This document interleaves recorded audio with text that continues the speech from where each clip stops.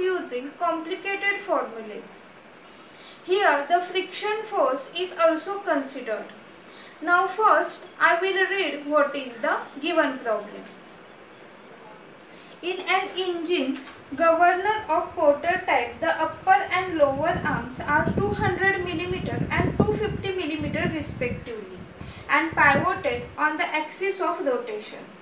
The mass of the central load is 15 kg. The mass of each ball is 2 kg and friction of the sleeve together with resistance of operating gear is equal to a load of 24 Newton at the sleeve. If the limiting inclination of the upper arms to the vertical are 30 degree and 40 degree, find taking friction into account range of speed of the governor. So this was the given question. Let us first understand what is the position of the fly balls when the governor is rotating with minimum speed n1. Now if we observe the diagram for minimum speed, here is the position of the fly balls. This is the pivoted point P and this is the arm PB. Angle made by with this vertical spindle axis with this arm is known as the angle alpha. Now if we observe the given question here two angles are given that is alpha 1 and alpha 2. So we have to remember that when the speed is minimum then this angle alpha is also small. So in between here alpha 1 and alpha 2 that is in between this 30 degree and 40 degree 30 degree is small. So we have to take here alpha 1 is equal to 30 degree. Now in the same way if we observe here the angle beta 1 is the angle made by with this link BD with the vertical spindle axis. So this beta 1 also should be small. Now we have to find out here the beta 1. Now small m is also given. So small m is nothing but the mass of the fly ball. So because of this mass of fly, fly ball there is the weight that will act in vertically downward direction to the center of the fly ball. Then here is the centrifugal force that will act in radially outward direction to the center of the fly ball. So centrifugal force Fc is also shown. Now in case of Porter governor there is the central load and that will attach to the sleeve. So central load we have to show here that will act in vertically downward direction to the spindle axis. Now here capital M is given that is equal to 15 kilogram. So because of this mass of the central load there is the weight of the central load that will act in vertically downward direction. Now frictional force is also given. So what is the frictional force? That is 24 Newton. Now we have to remember that when the governor is rotating with minimum speed, this central load or sleeve will move in the downward direction. So where is the movement of the sleeve? That is with minimum speed n1, sleeve will move in the downward direction and frictional force will act in the opposite direction. That means we have to show frictional force in the upward direction. So I will show here. Here is the direction of frictional force F because with minimum speed here sleeve will move in the downward direction. Now we have to draw here one horizontal line passing through the center of the fly ball. So this line is passing through the center so we have to draw this line in the form of dash and dot. And intersection of this line with this vertical spindle axis we will say here the point G. Then this horizontal distance BG is known as R1 and the vertical distance from P to G is known as height H1. So we will first find out what is the value of R1. So for this B to G, how to find out? Now here PBG is the right angle triangle. This alpha 1 is equal to 30 degree. This arm BP is given that is equal to 0.2 meter. So it is easy for us to find out this BG. So in this triangle Bg is equal to Bp sine 30. So this Bp 0.2 sine 30 0.5 which is equal to 0.1 meter. Now in the same way we will find out vertical height h1. So how to find out h1 is equal to Bp cos of 30 because this is the nearby side to this angle alpha 1. So 0.2 into 0.866 which is equal to 0.1732 meter. So in this way this value of R1 and H1 is getting calculated. Now we will find out DG. So why we are going to find out DG?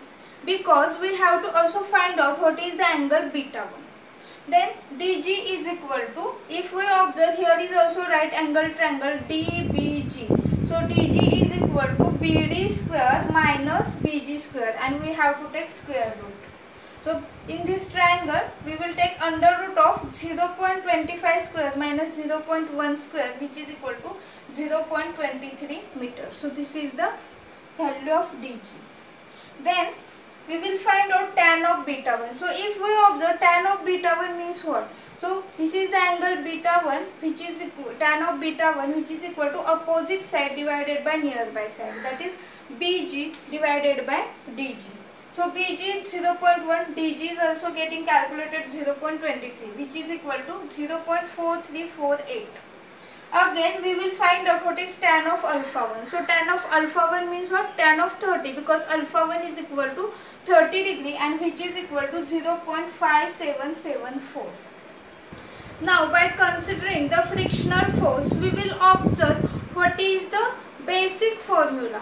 So here the basic formula is mg plus minus f by 2 plus small mg which is equal to fc by tan alpha minus capital mg plus minus f by 2 tan beta by tan alpha.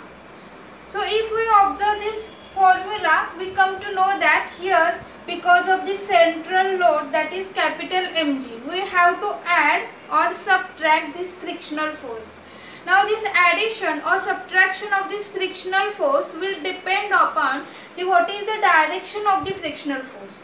So because here speed is minimum, so frictional force sleeve will move in the downward direction and frictional force will act in the upward direction.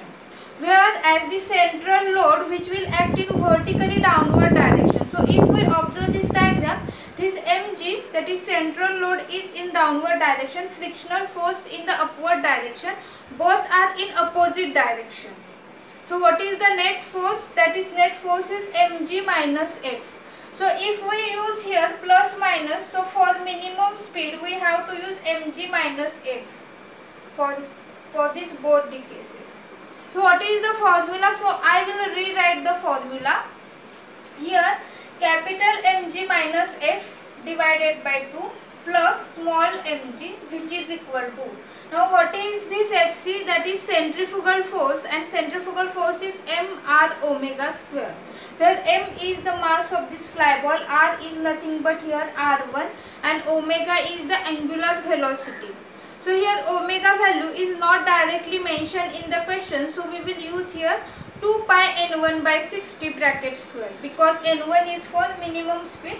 So I will write here mr1 2 pi n1 by 60 bracket square by tan alpha. Now if we observe what is the value of tan alpha, so tan alpha is nothing but r1 by h1. So I will write here r1 by h1 minus again mg minus f by 2 tan beta by tan alpha. So this is the simplified form.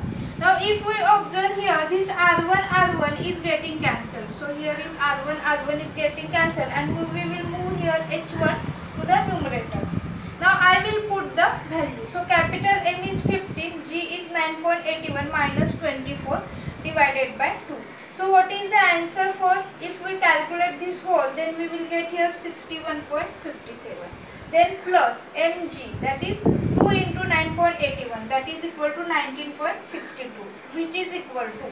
Now here m is 2 multiplied by h1 is 0.1732. Now 2 pi n1 bracket square that is 4 pi square n1 square divided by 60 square that is 3600.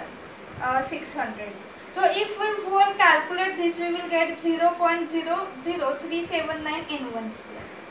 and then minus mg minus f by 2. So these both the terms are same.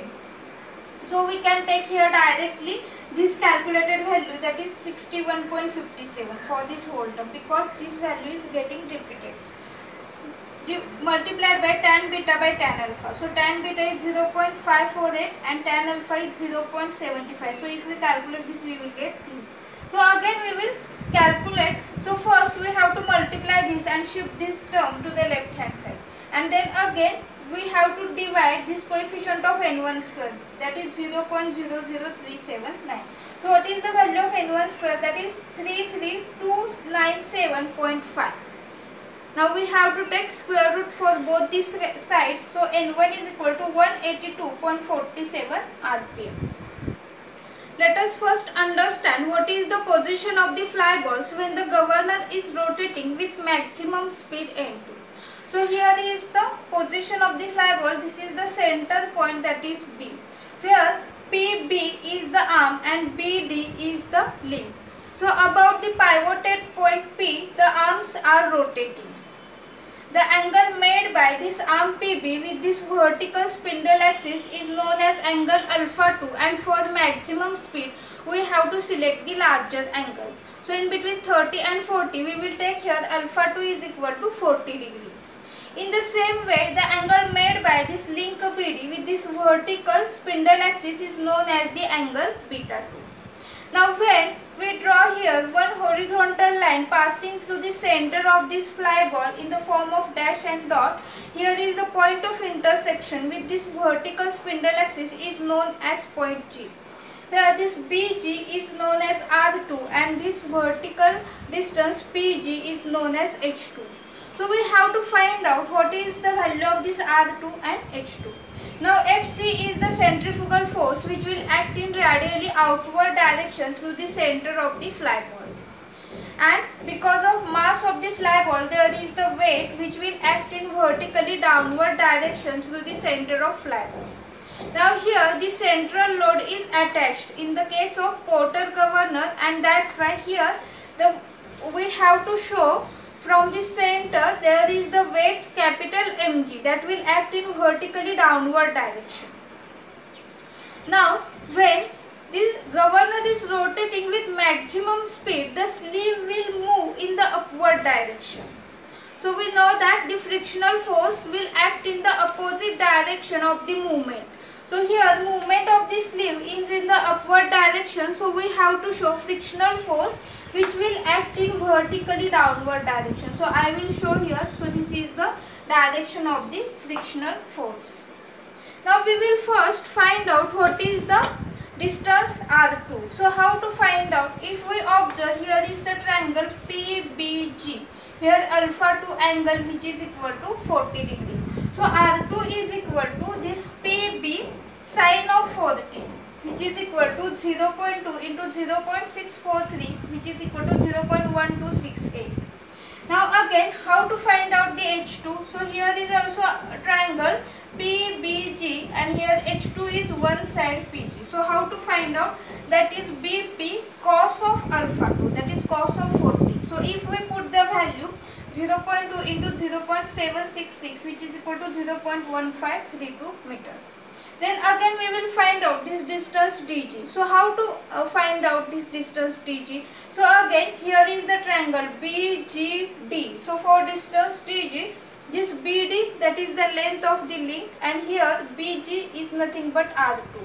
So R2 is getting calculated. So in this triangle we, we can say that under root of BD square minus BG square. So if we put values under root of 0.25 square minus 0.1268 square which is equal to 0.2154 meter. So this is the value of D to G. Now we will move for the calculation of angle beta 2. So here this is the angle beta 2 how to find out. So I will find out what is the value of tan of beta 2. So tan of beta 2 means what? Opposite side divided by nearby side. That is BG divided by DG. So tan of beta 2 is equal to 0 0.59. Now in the same way we will find out alpha 2 that is tan of alpha 2. So tan of alpha 2, alpha 2 is 40. So tan of 40, 0.839. So what is the ratio of tan of beta 2 by alpha 2 which is equal to 0.703. Now why we have calculated this ratio that is tan of beta 2 by tan of alpha 2?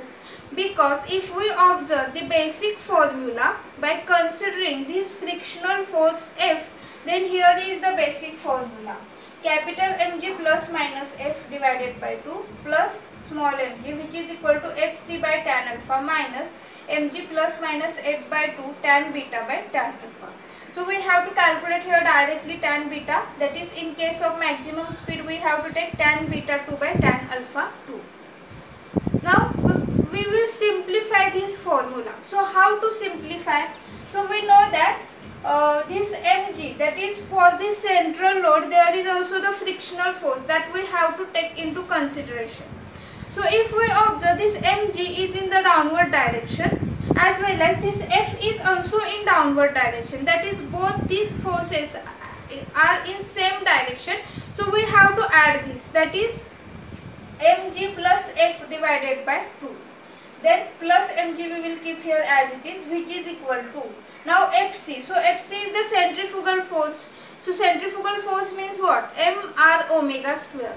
So here instead of r we have to consider r2 then omega means what? 2 pi n by 60 so instead of n we will consider here maximum speed n2 so again we will write here mr2 in the bracket 2 pi n2 by 60 bracket square divided by. Now tan of alpha. So instead of tan of alpha we will write here tan of alpha 2 so what is the tan of alpha 2 that is r2 divided by h2 so i will write here r2 divided by h2 minus again we will take here central load. So for the central load we have to take mg plus f divided by 2 so instead of mg we have to use mg plus f. And again multiplied by tan of beta by tan of alpha. Now we will put all the values. So here mg plus f by 2 that is 15 into 9.81 plus 24 by 2 plus 2 into 9.81 which is equal to if we observe this r2 r2 is getting cancelled. So h2 we can take this into numerator. So this small m is 2 multiplied by 2 pi n2 square that is 4 pi square n2 square into h2 0.1532 divided divided by 60 square that is 3600 minus again mg plus f by 2 that is 15 into 9.81 plus 24 by 2 and tan beta by tan alpha is 0.703. So if we calculate this we will get N2 is equal to 222 rpm. Now what is the range of speed? So range of speed is the difference in between maximum speed and minimum speed that is N2 minus N1 which is equal to 38.7 rpm and this is the answer.